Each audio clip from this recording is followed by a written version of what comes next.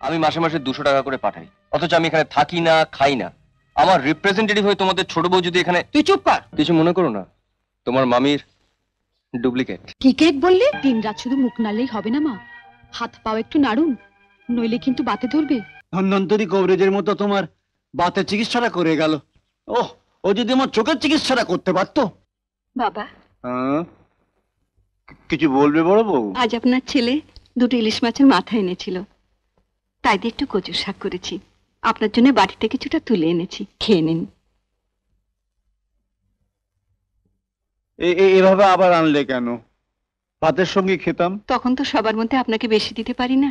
অথচ আমি জানি আপনি কচু শাক খেতে কত ভালোবাসেন। তোমার শাশুড়ি ঠাকুরের এখন কোথায়? উনি তন্দ্রার মামা। তন্দ্রার ঘরে বসে গল্প করছেন। আপনি খান আমি ওদিকটা নজর রাখছি।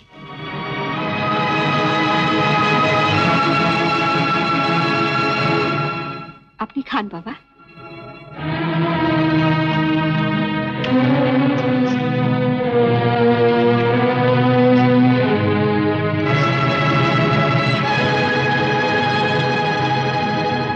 কেমন খেতে হয়েছে বাবা? দারুণ। দারুণ হয়েছে কচুর শাক আর একটু খাবে? দাও। বুঝেন যাও আমার আবার দয়ার শরীর। কারও মনে দুঃখ দিতে পারি না। বড় বউ এত কষ্ট করে রান্না করেছে খাব না বললেও দুঃখ পাবে না কি?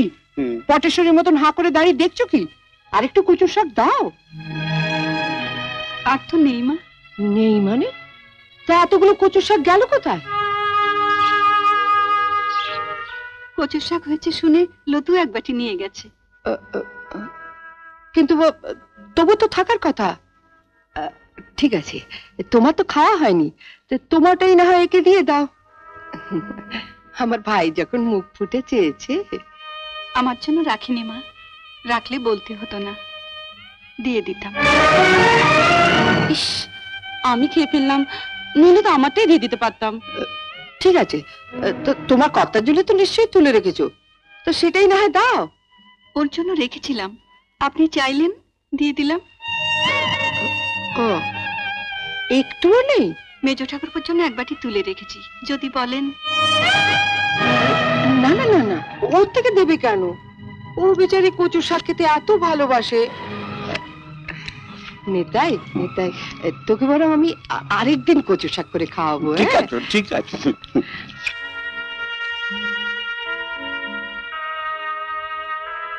বাবা আপনি খাচ্ছেন না? চুপচাপ বসে আছেন? না খাচ্ছি খাচ্ছি। মা! এ? তনু? মা! তনু তুই? কি? রে? তা চিঠিপত্র না দিয়ে মা। তুই যে হঠাৎ শাঁখ বাজাও উলু দাও। বড় বৌদি বরণডালা সাজাও। বরণডালা? হ্যাঁ। এবার আমি একা আসিনি। সঙ্গে করে বাড়ির ছোট বউকে নিয়ে এসেছি। ছোট বউ?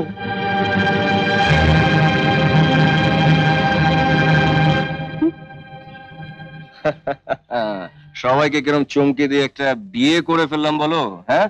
আমাদের না জানিয়ে তুই বিয়ে করে ফেললি। আরে তোমাদের জানাব কি? আমি কি নিজেও জানতাম? যা যা তোমাদের কি সব নিয়ম কানুন আছে সেরে ফেলো যাও। ও কোথায়? ট্যাক্সিতে। সে কি? আমি এ বিয়ে মানি না। তুমি না মানলে তোর বই গেল যার বউ তার যখন পছন্দ। হায় হায় হায়। আমার একই সর্বনাশ হলো। বড় ছেলের বিয়েতে একটা কানা করিও পেলাম না। মেজর ছেলে তো লাভ ম্যারেজ করল। আর ছোট ছেলের বিয়েতে কত আশা করেছিলাম দশ হাজার টাকা নগদ নেব ফ্রিজ নেব টিভি নেব। আর আমার কত শখ ছিল একটু ফ্রিজের ঠান্ডা জল খাব। ঠিক আছে মাথা ঠান্ডা করো। নতুন বউ এসেছে নিজের চরিত্র তুলে ধরো না। ও বাজারে হয়তো আবার ভাববে এ কোন জঙ্গলে উঠলাম রে বাবা? তুমি থামো। মাসে মাসে মাত্র দুশো টাকা করে পাঠায়। বিয়ে করল কোন সাহসে? আচ্ছা বাবা তুমি বলো। আমি মাসে মাসে দুশো টাকা করে পাঠাই। অথচ আমি এখানে থাকি না খাই না। আমার রিপ্রেজেন্টেটিভ হয়ে তোমাদের ছোট বউ যদি এখানে তুই চুপ কর। কার মেয়ে কোন জাতের মেয়ে কিছুই জানা নেই। আরে ওসব জেনে কি হবে? তোমাকে বিয়ে করার সময় তো আমি তিথি নক্ষত্র চন্দ্র সূর্য দেখে এনেছিলাম। হুম? কি লাভ হয়েছে বলো? হুম? তা মা বাবু কদিনের জন্য দিদির বন্দরে নমর ফেললে? হ্যাঁ? যা বুঝছি। এই বন্দর ছেড়ে এই বান্দরের আর যাবার ইচ্ছে নেই।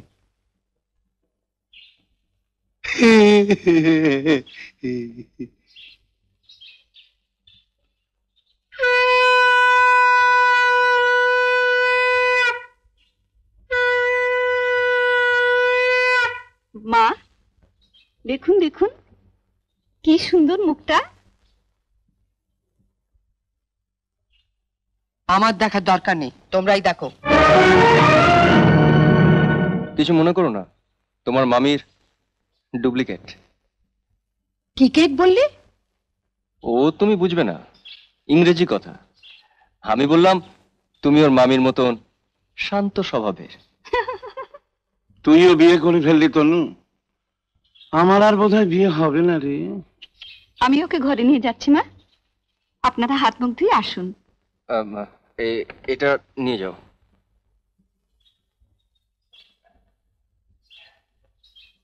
এবার- আমি চলি মা। চলি মানে? অনেক বলে কয়ে অফিস থেকে চার দিনের ছুটি নিয়েছি। একদিন গেল বিয়ে করতে আর তিন দিন হানিমুন আজ নাইট ডিউটিতে জয়েন না করলে আমার চাকরিটা যাবে। বড় বৌদি আমি চললাম। চললে মানে? আমার ছুটি নেই। তুমি একটু দেখো। চলে ছোট বউ। এই যে বড় বউ ওকে নিয়ে পিরিত করলেই চলবে? এদিকে টেবিলের উপর যে এটো বাসনগুলো পড়ে রয়েছে সেগুলো মাজা কষা করবে কে হ্যাঁ? কটা ঝি চাকর আছে? যাচ্ছি মা। চলো না দিদি। আমি তোমার সঙ্গে হাতে হাতে কাজ করি। ও বাবা কি পিরিত রে। দেখব দেখব কত কাজ করতে পারো। দেখি তোমার বাবা মা কি গয়না পরিয়ে শ্বশুর বাড়ি পাঠিয়েছে? হ্যাঁ? গলার ওই দুটো সোনার? না ইমিটেশন আমার মা বাবা নেই। ছেলেবেলাতেই মারা গেছেন। আমি মামার কাছেই মানুষ। ও মা বাবাকে খেয়ে বসে আছো? ধন্যি মেয়ে। এখানে এসে আবার তো নতুন করে মা পেলাম। ও বাবা। কি কাব্য মারা কথা রে বাবা? শিখে নাও মেজো বউ শিখে নাও। আমার বাবা ওসব ন্যাকামি আসে না। নাও খোলো দেখি হাটটা দেখি দেখি দেখি দেখি ছোট বউয়ের মুখখানা দেখি। তোকে আবার কি খবর দিল? বা রন্টুর বউ ভাতে যাব বলে তৈরি হচ্ছে হঠাৎ তনু গিয়ে বলল তা মা তোমার ছোট বউয়ের মুখখানা তো বেশ। এই দেখ তো। ওর গলার হারটা সোনার না ইমিটেশন আমার তো মনে হয় ইমিটেশন মা দেখেছেন? আমার বিয়ের হাতটা এখনও কেমন চকচক করছে?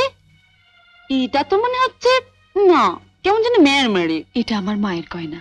মা মারা যাবার সময় মামার হাতে দিয়ে গিয়েছিলেন। এই সুটকেসে আরও আছে। দেখি দেখি দেখি।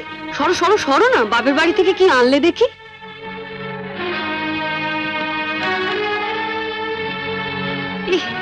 শাড়ি গো। ই মেয়ে। এ নিশ্চয়ই কোনো ভিখারি বাড়ির মেয়েকে বিয়ে করেছে তনু। আমাদের বাড়ি ঝিরাও এর কাপড় পরে। দেখ দেখ। বাবা লাল। লাল হয়ে যাচ্ছে পাউডার। মা মা আমি ঠিক বলছি মা। এ নিশ্চয়ই কোনো বস্তি বাড়ি মেয়ে। নইলে বিয়েতে কেউ এরকম শাড়ি দেয়? ই দেখ দেখ। বাহ এই শাড়িটা কিন্তু বেশ। তাই না মেজে বৌদি হুম মোটামুটি। হ্যাঁ। মা আমাদের এখন আমাগুলো মানিয়েছে। খুব সুন্দর মানিয়েছে। ভালো? খুব সুন্দর। আমি এই শাড়িটা নিয়ে যাচ্ছি। রন্টুর বৌভাতে পরে যাব। শোনো রাত্রিবেলায় ভালো করে আমি এসে সুটকেসটা ঘেটে দেখব। কিছু যেন শরীর রেখো না। মা নজর রেখো। শাড়িটা রেখে যাও। রেখে যাবে মানে? শুনলে না? ও এটা পরে ওর বন্ধুর বৌভাতে যাবে? বউ ভাতে যাবে? নিজের শাড়ি পরে যাক। বড়লোক বাড়ি বউ।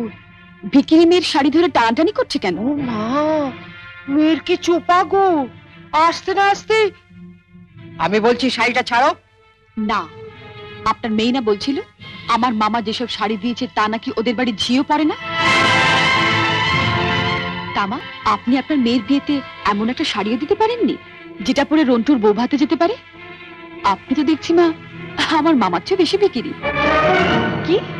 কি বললে তুমি আমার মাকে? বুকে খুব বাজলো না? ঠিক আমার বুকেও এমনি করে বেজেছিল। যখন তুমি আমার পিতৃতুল্য মামাকে বিক্রি বলেছিলে। চুপ কর চুপ কর ছোট। না। তুমি তো যত নষ্টের গোড়া। ও আসার সঙ্গে সঙ্গে সাত তাড়াতাড়ি কেন নিজের ঘরে নিয়ে এলে? এবার বুঝতে পারছি। এর মধ্যে ওর কালে বিষ ঢেলে দিলে? দিদি কোথায় বিষ পাবে যে ঢালবে? আপনি আর আপনার মেয়ে তো বিষের জমিদারি নিয়ে রেখে দিয়েছেন।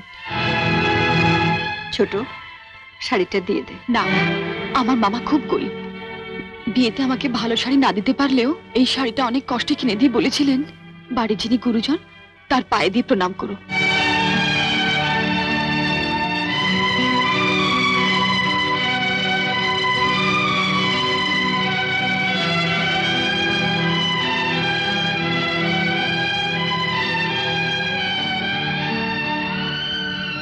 এ কি করলি হতভাগী? মা থাকতে আমাকে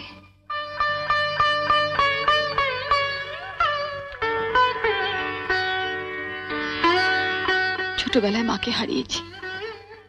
কত আশা নিয়ে বাড়িতে এসেছিলাম। নতুন করে আবার মাকে পাবো। কিন্তু বর্দি ওনার যা মূর্তি দেখলাম, এ তো মায়ের মূর্তি নয়। শাড়ি দিয়ে প্রণাম করলে আমার মরা মায়ের হাতটা কষ্ট পাবে। শুনলে মেজে বৌদি শুনলে? যত বড় মুখ না তত বড় কথা। ঠিক আছে রন্টুর বৌভাত থেকে আসে তারপর তোমার হচ্ছে। দাঁড়াও যাবার আগে ছুঁড়ে ছুঁড়ে যে শাড়িগুলো ফেললে সেগুলো সুটকেসে তুলে দিয়ে যাও। তুমি বড়লোক বাড়ির বউ তোমার বাড়িতে দশ বিশটা ঝি থাকতে পারে। কিন্তু এই বাড়িতে তো ঝি নেই তাই কাজটা তোমাকেই করে যেতে হবে। কি হলো? তোলো। ছেড়ে দে ছোট। তুমি চুপ কর বর্দি রন্টুর বৌভাতে যেতে গেলে কিন্তু এই কাজটা করে দিয়ে যেতে হবে ঠাকুরজি। আমার বাড়িতে? মা কি ডাকাত মেয়ে রে বাবা। যাই ওনাকে বলি গিয়ে যায় তুমি কোথায় যাচ্ছ? শাড়িগুলো তোলো। মেজু বৌদি। ও বড় বৌদি। ছাড়। ছেড়ে দে ছোট ছেড়ে দে। নইলে কিন্তু রন্টুর বউ ভাতে যেতে দেবো না। তোলো।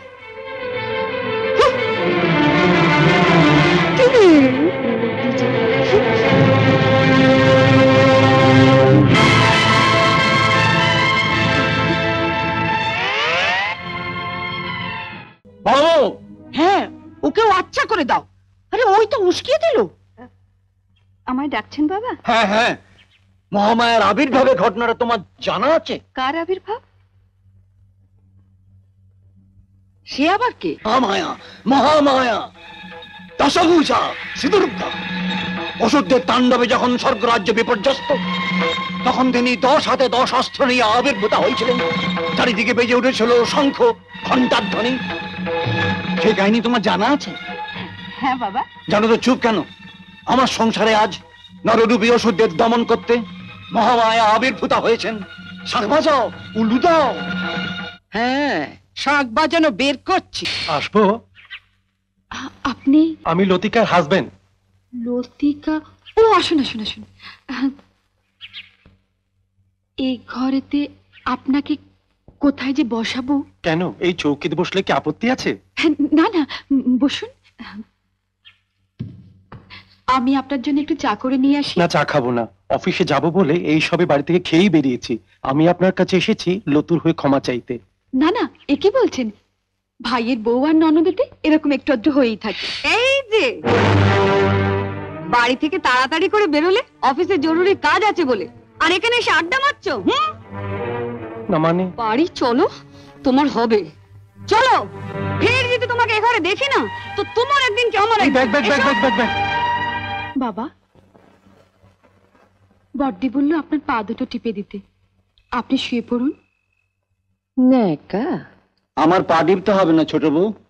তুমি বরঞ্চ তোমার শাশুড়ির গাল দুটো বেশ ভালো করে টিপে দাও। কেন? আমার গাল টিপবে কেন? না মানে বলছি সারাদিন মুখ জামটা দিতে দিতে তোমার গাল দুটো তো খুব ব্যথা হয়ে থাকে তাই গাল দুটো বেশ ভালো করে টিপিয়ে নিলে কাল সকাল থেকে আবার বেশ পুরো দমে চেঁচাতে পারবে। বড় বউ? কটা বাজে শুনি। কি করছিলে এতক্ষণ? তন্দ্রার ঘরের বিছানা মশারি তুলে ওর ঘরটা ঝাড় দিচ্ছিলাম। উদ্ধার করেছ আমাকে। তা এত বেলায় যে কাজ শুরু করলে ব্যাপার কি? যেই বাড়িতে আরেকটা বউ এসেছে অমনি ঢিলে দিতে শুরু করেছ কাজে না? কাল রাতে রাজুর জ্বর এসেছিল। ভালো ঘুম হয়নি। তাই উঠতে একটু দেরি হয়ে গেল মা। এসব নাকা নাকা কথা ছাড়ো। এত বেলা হয়ে গেল এখনও উনুন ধরলো না চা হলো না। আপনি ঘরে গিয়ে বসুন আমি এক্ষুনি সব সামলে নিচ্ছি। তাড়াতাড়ি করো এরপর আবার অফিসের রান্না আছে। বর্দি ঝাঁটাটা আমাকে দাও আমি ঝাড় দিয়ে নিচ্ছি। তুমি গিয়ে উনুনটা ধরা। না ছোট আমি পারব। রাজুর শরীরটা ভালো নেই তুই গিয়ে ওর কাছে একটু বস। কে খবর দি? মা অত বকলো তবু তোমার লজ্জা নেই? দুজনে দাঁড়িয়ে দাঁড়িয়ে আড্ডা মারছো? আমি এক্ষুনি করে দিচ্ছি। এই যে বড় বউ কাল তোমায় বলেছিলাম ত্রিফলা ভিজিয়ে রাখতে। রেখেছো হ্যাঁ রেখেছি মামা। দাও তাড়াতাড়ি দাও। ওই রোদ চলে গেলে আবার ওই জলের গুণই নষ্ট হ্যাঁ, হয়ে। যায়। এই যে রোজ সকালে এক গ্লাস করে ত্রিফলার জল খাবে। বুঝেছ ছোট বউ? এতে শরীরও ভালো থাকবে খিদেও বাড়বে। এক পয়সা রোজগারের মুরদ নেই। ত্রিফলা খেয়ে শুধু খিদে বাড়াচ্ছে আর গিলছে। যেমন দিদি তার তেমন ভাই।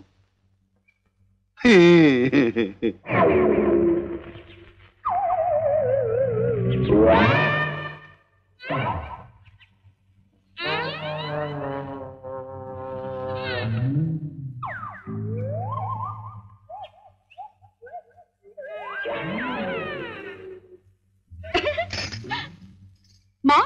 দিদি এদিকে কাজ সারছে। মোচাটা কীভাবে কাটে একটু দেখিয়ে দিন না। হা কপাল। এত বড় ধাড়ি মেয়ে হয়েছে এখনও মোচা কাটতে পারো না। তোমার মামি তাহলে একদিন কি শিখিয়েছেন তোমাকে? আরে ঠাকুরজি এসো এসো। বসো। কিছু ভাবলে? ভাবছি ভাবছি। আমাকে এত বড় অপমান করা? আমি ওকে ছেড়ে দেবো ভেবেছো? না না একদম না। তুমি হলে এবারের একমাত্র মেয়ে। আর তোমাকে কি না নুন? হ্যাঁ নুন। চার চামচ নুন দিয়ে দিলাম দুধেতে। আর তোমার ছোট দাও সেটা ঢক ঢক করে খেয়ে নিল। কি বাজে তুই তারপর? তারপর আর কি? সেই নুন খেয়ে আমার গুণ গাইতে শুরু করল তোমার দাও। বিয়েটা হলো কি করে? তোমাকে তো বলেছি মামি আমাকে দু চোখে দেখতে পারতো না। টাকার জন্য বুড়ো বাড়িওয়ালার সঙ্গে আমার বিয়ে দেবার চেষ্টা করছিল। কিন্তু মামার জন্য ঠিক সুবিধা করতে পারছিল না। দিন কয়েক আগে অফিসের কি একটা কাজ পড়ায় মামা দিন দশেকের জন্য কলকাতায় গিয়েছিল। কাল বুঝে মামি আমার সেখানে বিয়ের ব্যবস্থা করে ফেলেছিল। ওহ সেদিন যদি মামা ফিরে না আসতো। তারপর? মামাকে আগেই আমি তোমার দেওয়ারের কথা বলে রেখেছিলাম। সেই রাত্রি মামা আমাকে ওদের মেসে পৌঁছে দিলেন। তারপরেই আমরা রেজিস্ট্রি করলাম। একেবারে সিনেমার গল্প। রেজিস্ট্রির পর কি করলে? কি আবার করব? ঠাকুর পুজো বলল কোথায় আমার ভীষণ কষ্ট হয়। কেন? কষ্ট হয় কেন?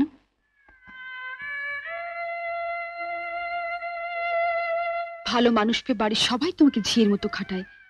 তোমারও তো সকালাত বলে কিছু থাকতে পারে? না ছোট আমি যেদিন এ বাড়ির বউ হয়ে এসেছি সেদিনই আমার সব শখ আহ্লাদ বিসর্জন দিয়েছি। তুমি দেখো না বর্দি কিছুদিনের মধ্যে আমি এবারে ভোল পাল্টে দেবো। মার চিৎকারও বন্ধ করব। বড় বউ? ও বড় বউ? দেখ বলল না কি সব? কিছু বলছেন মা? না তোমাকে না বড় বউকে ডাকছি।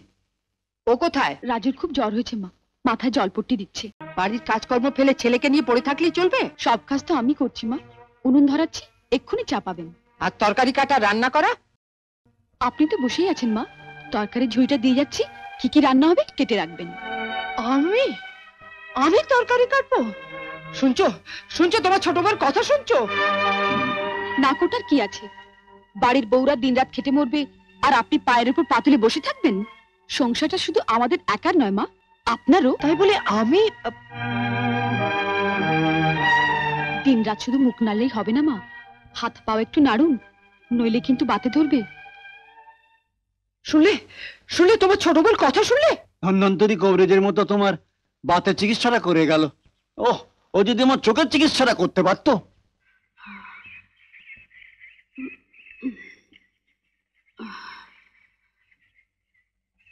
বাবা এত বেলা হয়ে গেল। এখনও তো বেডটি দিল না। বাসে ঘরেও তো ঝাঁট পড়েনি। আশ্চর্য দিদি করছেটা কি এতক্ষণ?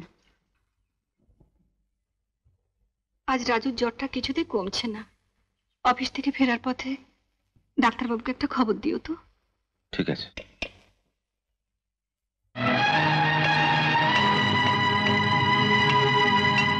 দিদি কোথায় দীপা? কেন? এতখানি বেলা হয়ে গেল আমার ঘরটা এখনও ঝাঁট পড়েনি? ঝাঁটা পড়েনি? না একটা কাজ করো। ওই তো ঝাঁটা পড়ে আছে। ওটা নিয়ে নিজের ঘরটা ঝাড় দিয়ে নাও। হ্যাঁ? কেমন? কি? আমি ঝাড় দেবো? তবে কে দেবে? এতদিন যে দিয়ে এসেছে বড়দি। তোরা এমন চেঁচেমেচি শুরু করেছিস যেন ঝাড় দেওয়াটা কেবল ঝিয়েরই কাজ। কেন? বাড়ি বইয়েরা ঝাড় দিলে কি তাদের জাত যায়? তাই বলে আমি ঝাড় দেবো? আমার স্বামী যেখানে সংসারে মাস গেলে আটশো টাকা দেয়। তাহলে তোমাদের যুক্তি অনুযায়ী এই কথা দাঁড়াচ্ছে যে যার স্বামী সংসারে যত কম টাকা দেবে তার স্ত্রীরই ঘর ঝাড় দিতে হবে। তাহলে তো তোমাদের শাশুড়ি ঘর ঝাড় দেওয়া উচিত। না না না। মা হচ্ছেন দেবী। মা কেন ঝাড় দেবেন? তাহলে ঝাঁটাটা আমাকেই দাও। এই সংসারের জন্য তো অনেক করলাম এটাই বাকি ছিল। এসব কি বলছেন বাবা? এসব শোনাও তো পাপ। তোমরা যে যার ঘরে যাও আমি সব করে দিচ্ছি। না তুমি রাজুর পাশে গিয়ে বসো। ছাড় ছোট। যার বাবার সংসারে পাঁচশো টাকা দেয় তার ছেলের বেঁচে থাকার কোনো অধিকার নেই সংসারে। ঠোঁড়া সাপ আমার ফনা তোলে। মা কোথায় ছোট মা? মাকে একটু ডাকো না। তুমি একটু ঘুমোবার চেষ্টা করো শোনা তোমার মা এক্ষুনি আসবে। তাহলে একটা গল্প বলো। এমন আরও অনেক ভিডিও দেখতে এই চ্যানেলটি সাবস্ক্রাইব করে নিন এবং পাশের বেল আইকনটি প্রেস করে দিন।